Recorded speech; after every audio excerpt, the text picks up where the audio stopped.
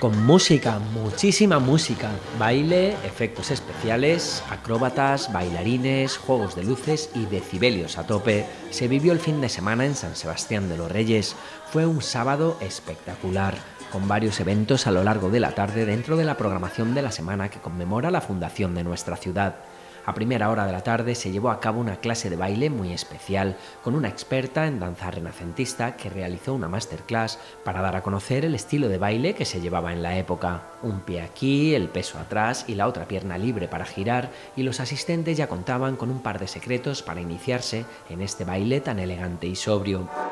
Hubo quien acudió vestido con los auténticos atuendos, con lo que el viaje en el tiempo, acompañado por los antiguos acordes y melodías, sirvió en bandeja este regreso al pasado. Un ratito más tarde, la fiesta continuaba en el centro de mayores Gloria Fuertes, con música variada con la actuación de un trío que cantó para los presentes, que lo bailaron todo